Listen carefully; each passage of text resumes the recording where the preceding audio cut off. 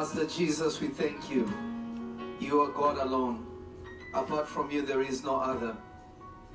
Father, we humble ourselves under your mighty hand.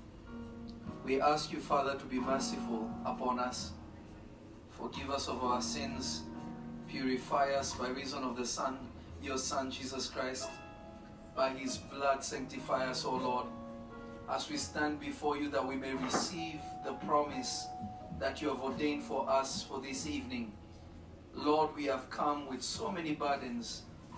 No one can give us rest except you. So, Lord Jesus, we look to you. We look to you because you are our salvation. Help us this day.